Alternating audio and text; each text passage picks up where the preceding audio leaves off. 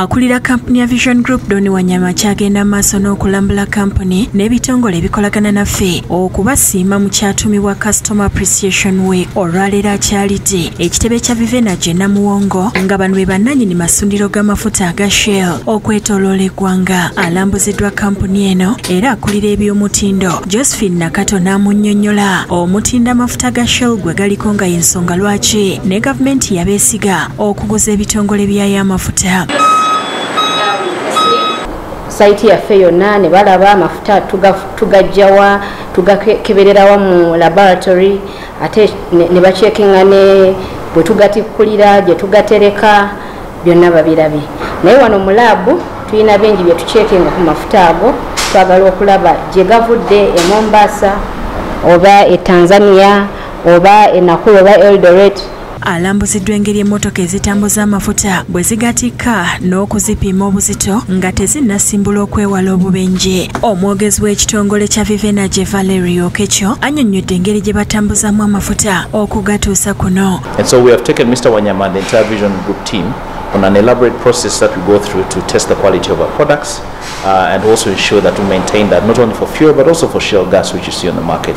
So it has been mostly an educative tour for the team and uh, the appreciation we have learned is that uh, the quality process is now understood fully.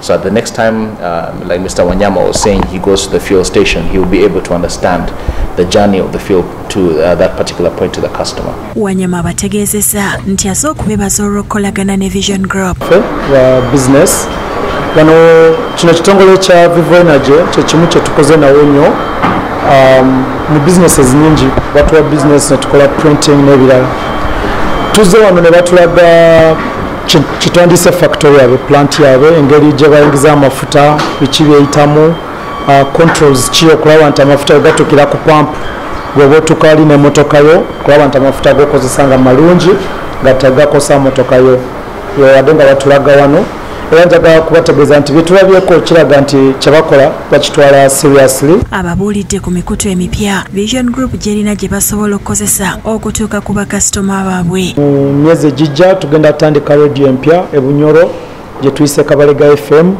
ate nga mukimanyi eyo area yamafuta bi- bingi byetubadde nga tukola ngaeggwanga mu albertine region.